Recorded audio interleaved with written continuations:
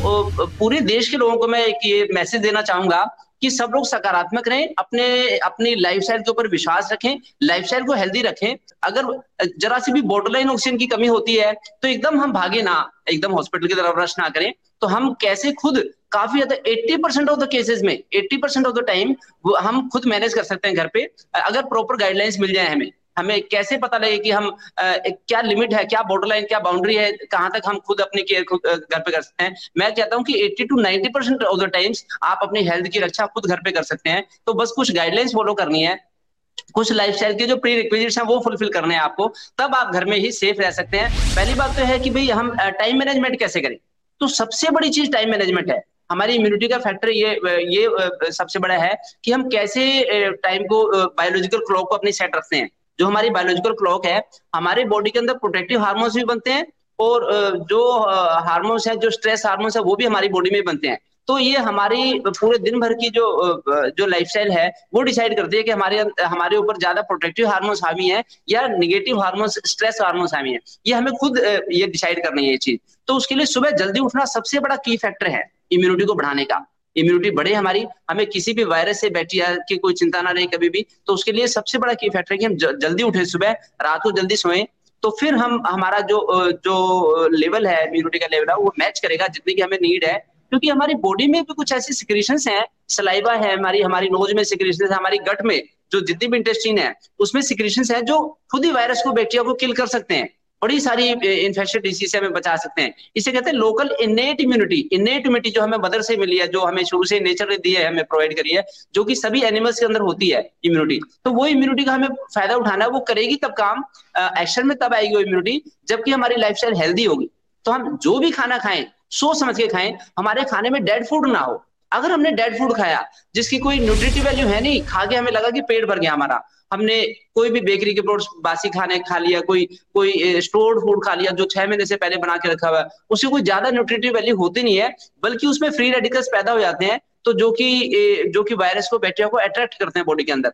तो ऐसा फ़ूड ना लें जो जंक फ़ूड है या जो डेड फ़ूड है, जितना फ्रेश फ़ूड घर में अपने सामने बनाया हुआ लें तो अच्छा है। जैसे कोई सब्ज़ी लाए हम बाज़ार से, सब्ज़ी काट के हमने बॉयल करके बनाई तो उसकी जेनेटिक स्ट्रक्चर बिल्कुल क्लोजेस्ट रहेगी। जो नेचुरल जो पेड़ पे से प्लांट पे से उतारा था हमने उसको, उसके नेचुरल बिल्कुल नियरेस्ट रहेगी उसकी जेनेटिक स्ट्रक्चर वो हमारी बॉडी में एब्जोर्व हो जाएगी और वो हमारे अंदर एमिनो एसिड भी मिलेंगे, उससे फैट कार्बोहाइड्रेट मिनरल्स विटामिन सारे न्यूट्रिएंट्स प्योर फॉर्म में मिलेंगे। जहाँ हमने बना बुन के कोई चीज़ प्रोसेस करके रख दी फिर उसको कल खाया, दो दिन बाद खाया, दस दिन बाद खाया, एक महीने बाद खाया तो फिर उसकी कोई ज़्यादा वैल्यू रह नहीं जाती, बल्कि उससे फ्री रेडिकल्स पैदा होते हैं। वो हमें वायरस या बैक्टीरिया को मल्टीप्लाई करने के लिए एक खाद पानी तैयार करते हैं। उसके लिए न्यूट्रिएंट्स तैयार करते हैं। क्योंकि जो जितना एलोपैथी में पढ़ाया जाता है, उसमें कि इमीडिएट ट्रीटमेंट में ही इमरजेंसी टाइम में ही हमें मेडिसिन का यूज़ करना पड़े। अदरवाइज़ काफ़ी स्कोप होता है। काफ़ी सारा स्कोप होता है कि हम बैक्टीरिया को वायरस को फाइट कर सकें और उसको न्यूट्रलाइज कर सकें। तो वो हमें मेजर्स आपको बताने हैं कि खान पान अपना ठीक रखें, रात को जल्दी सोएँ, सुबह जल्दी उठें। देखिए इंडिया जो है इंडिया में ये हर्ब्स कितनी ज़्यादा हर्ब्स हैं जो प्रोटेक्टिव हर्ब्स ये देखिए ग्लोए है, कितनी प्यारी गिलोय आ गई है। तो ये, इसका यूज़ कौन करेगा? ये हमारे लिए बनाई है भगवान ने। तो गिलोय अगर हम लेंगे डेली तो गिलोय अगर दो इंच की, जैसे मैं रनिंग के लिए जाता हूँ, सुबह स्टेडियम में जाता हूँ, गुप्ता से कई बार बात हुई, मैंने इनको वीडियो कॉल करके दिखाया।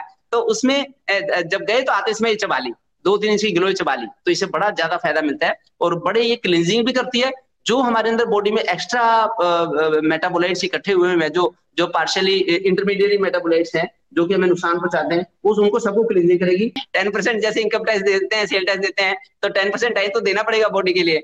दो घंटे सुबह के टाइम में कंजूसी ना करें, सुबह के टाइम दिल खोल के बॉडी के लिए दे, आत्मा, परमात्मा के लिए दे, उसे ठीक रहेंगे तो उसमें ये पत्ते भी चबाएँ, जैसे योग किया हमने, खुली जगह में जाके, और रनिंग की एक्सरसाइज की तो उसमें ये पत्ते, मीठे नीम के पत्ते हैं, कितने अच्छे पत्ते हैं देखिए, बड़ी अच्छी खुशबू भी होती है और अगर कड़वे भी हो, तब भी क्या बात है, कड़वा नीम भी खा लें, चार पाँच पत्ते, और मीठा नीम के भी खा लें, और गिलोय ले लें इसी तरह से थोड़ा सा एलोवेरा भी ले लें ज़रूर।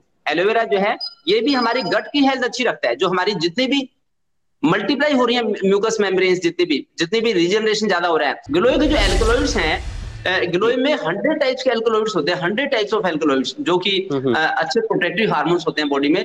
वो हमारे हार्मोन्स का रॉ मटेरियल है जिनसे कि हमारी बॉडी के हार्मोन्स बनेंगे। कहते हैं ना कि हार्मोन रिप्लेसमेंट थेरेपी करनी है तो ये हार्मोन रिप्लेसमेंट थेरेपी करती है। वो जो हार्मोन्स है वो इसके स्टेम में होते हैं स्टेम में। स्टेम में होते हैं तो उसका इस गिलोय का तो स्टेम का ही फ़ायदा है। स्टेम का ही लेना चाहिए इसमें सारा वो भी अगर थोड़ा मोटा स्टेम होगा अगर ये कच्चा स्टेम है इसमें नहीं ज़्यादा बेनिफिट होता इतना ये इतना पता नहीं जो हमारी नेक्स्ट फिंगर है इसके इक्वलेंट जो होगा स्टेम यही स्टेम हमारे लिए इसमें सारे इसकी प्रॉपर्टीज़ होंगी तो ये लेना चाहिए। जो लोकल इम्यूनिटी है कि ऑयल पुलिंग करनी चाहिए ऑयल पुलिंग सुबह उठे हम सुबह उठ के सपोज़ योग भी कर रहे हैं तो मुँह में एक चम्मच तिल का तेल भर लिया तिल का तेल मुँह में भर लिया एक चम्मच और ऐसे करके दस मिनट तक करते हैं लगभग दस मिनट तक। तो तब जाके लोकल इम्यूनिटी बड़ी स्ट्रॉन्ग हो जाती है। हमारी जो म्यूकस मेम्ब्रेन है वायरस को किल करने में सक्षम हो जाती है फिर। ये कर ले नोज़ में भी देसी घी या तिल का तेल या बादाम रोगन डाल सकते हैं डेली डालने। तो इससे लोकल इम्यूनिटी हमें हमारी स्ट्रॉन्ग होगी। और सिस्टमिक इम्यूनिटी के लिए आउटडोर एक्टिविटी आउटडोर एक्टिविटी भी योगा भी। शाम को फोर्टी परसेंट इफ़ेक्टिव है। सुबह 95 परसेंट इफ़ेक्टिव है। सुबह का बहुत ज़्यादा फ़ायदा है क्योंकि जितना हमारी बॉडी खाली होगी खाली होगी तो उसमें वाइब्रेशन ज़्यादा अच्छे होंगे। योग जो करेंगे तो जो ऑक्सीजन ले रहे हैं जैसे ऑक्सीजन ली हमने। जैसे वॉशिंग मशीन है वॉशिंग मशीन में हमने कपड़े डाले। कपड़े डाल के उसमें साबुन सर्फ डाल दिया जो भी और कपड़े डाल दिए तो वो खंगालती है उसको अच्छी तरह से। वॉशिंग मशीन बड़ी तेज़ी से रोटेट करती है और उसमें से मैल को निकाल देती है और फिर मतलब कपड़े बिल्कुल साफ़ रहते हैं जब उससे निकाल तो हमारी बॉडी में जो ब्लड सर्कुलेट हो रहा है चार लीटर चार पाँच लीटर ब्लड होता है हमारी बॉडी में तो उस ब्लड में जगह जगह डिफरेंट टॉक्सिन्स इकट्ठे हुए पड़े होते हैं हमारे, है ना? तो सुबह जब हमने स्टूल पास कर दिया यूरिन पास कर लिया उसमें बिल्कुल एम्प्टी होती है हमारी बॉडी तो ऑक्सीजन जल्दी से एंटर कर पाएगी हमारी बॉडी में। ऑक्सीजन एंटर करेगी हर सेल में। तीन खरब सेल्स होती है हमारी बॉडी में, सब में एंटर करेगी ऑक्सीजन सब में से कार्बन डाइऑक्साइड निकालेगी यूरिक एसिड यूरिया कोलेस्ट्रॉल जो भी डिपोजिटेड है, उसको वॉशिंग करना बड़ा आसान रहेगा, है ना? अगर हमारा घर है, हमें किसी को क्लीनिंग करनी है स्वीपिंग करनी है तो अगर जगह जगह आर्टिकल रखे होंगे तो बड़ा मुश्किल है स्वीपिंग करना। और अगर सारा घर खाली सा ऐसे मतलब तो उसमें स्वीपिंग करना वाइपर वाइपर चलाना बड़ा आसान है।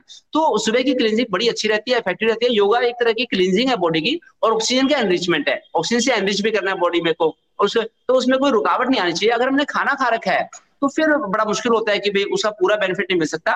लेकिन ना करने से वो भी अच्छा है। अदरवाइज़ जो सुबह का बेनिफिट है, उसकी बराबरी हो नहीं सकती। जो हमारा जो बायोलॉजिकल क्लॉक है, वो भी उसको मैच करती है। तो सुबह के टाइम में जितने प्रोटेक्टिव हार्मोन बन जाएँगे, वो पूरे 12-15 घंटे हमारी रक्षा करेंगे। तो जरा सी चीज़ के बारे में एकदम हॉस्पिटल में रश करना पड़ता है और फिर तरह तरह की एडमिशन तक की नौबत आती है। तो सारा वीडियो पूरा ध्यान से देखें और ज़्यादा से ज़्यादा लोगों को शेयर करें, जिससे कि खुद हम पॉजिटिव रहें और खुद इंडिपेंडेंटली हम सोच सके कि हमारी बीमारी का कारण हमारे अंदर है और हम ही इसको ठीक कर सकते हैं। तो इस पर ज़्यादा डिपेंडेंट ना बने कि हम किसी भी पैथी के ऊपर डिपेंडेंट बने। अगर हम अपना लाइफ ठीक करें और हम उसका रूट कॉज ठीक कर सकते हैं। तो इसलिए सब लोगों को धन्यवाद।